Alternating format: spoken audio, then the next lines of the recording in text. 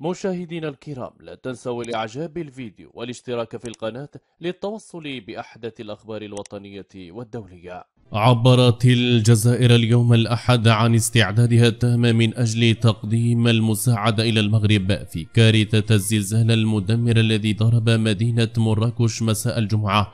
وأشارت وزارة الخارجية في بيان إلى أن الجزائر عرضت مخططا طارئا لمساعدة المغرب في إطار الكارثة التي ألمت بها مضيفة أن المساعدات تتمثل في فريق تدخل للحماية المدنية مكون من 80 متخصصا. وكانت الجزائر قد أبدت أمس السبت استعدادها التام لتقديم المساعدات الإنسانية ووضع كافة الإمكانيات المادية والبشرية لمساعدة المغرب على إثر الزلزال العنيف.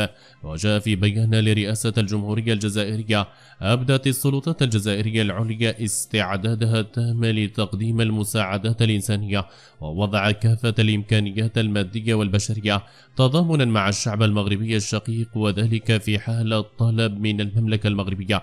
كما قررت السلطات الجزائرية فتح مجالها الجوية أمام الرحلات لنقل المساعدات الإنسانية والجرحى والمصابين. نشكركم على حسن المتابعة. إلى اللقاء.